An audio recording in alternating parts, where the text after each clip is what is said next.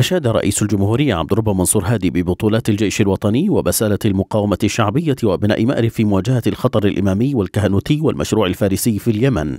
وشدد خلال اتصال هاتفي مع محافظ مأرب على رص الصفوف لمواجهة قوى التمرد التي تهدد الهوية اليمنية والنظام الجمهوري. وحيا رئيس الجمهورية التضحيات التي يقدمها الأبطال في المؤسسة العسكرية والأمنية ورجال القبائل والمقاومة الشعبية في مختلف المواقع والجبهات والوقوف بثبات وبسالة في الدفاع عن النظام الجمهوري والوحدة وعزة وكرامة أبناء اليمن. وثمن رئيس الجمهورية مساندة دول التحالف العربي للجيش الوطني والمقاومة الشعبية ودوره الفاعل في تحقيق الانتصارات وكسر هجمات الميليشيا الانقلابية.